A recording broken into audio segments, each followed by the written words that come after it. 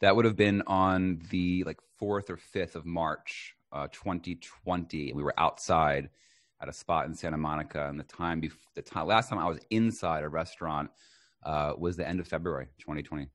It's funny now that you ask. I remember the restaurant, and I remember who was there. Yeah. And it was March of 2020. Yeah. And the, and it someone dear and near to uh, my husband and me came in from Philadelphia and came in and he went to give me a hug and I backed up.